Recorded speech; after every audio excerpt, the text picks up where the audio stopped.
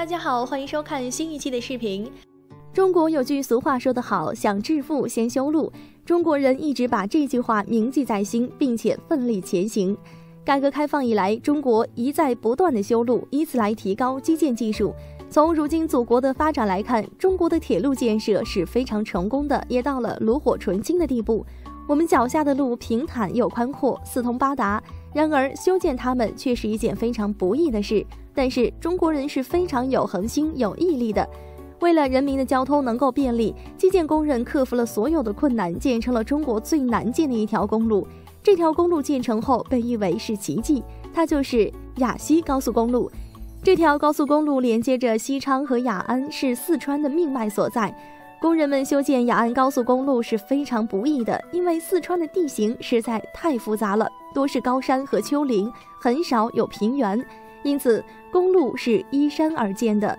基建工人们首先打好地基，建好高架，这样的工程在大山里面做难度系数是非常高的，并且四川又是地震多发区，稍不留神就会引发地震、泥石流等自然灾害。但是工人们最终还是靠着自己顽强的意志和高超的技术，把所有的不可抗力因素都克服了。仅仅五年的时间，雅西高速公路就全线通车，整条高速全程二百四十公里，打造了二十五个隧道，修建了二百七十座桥梁。除此之外，为了能够让司机们在这条高速公路上安全行驶，工人们在一路上安装了很多安全设施。竣工后的雅西公路可谓是一道亮丽的风景线，它蜿蜒在崇山峻岭间，就像一条龙。光是站在远处观望着就极为震撼，更别说真的置身其中了。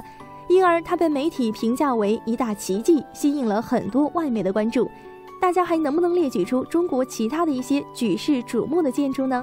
好了，今天就和大家介绍到这里，下一期会带大家去看更有意思的地方。欢迎大家点赞评论，别忘了点击视频右下角的关注哦。我们下期再见。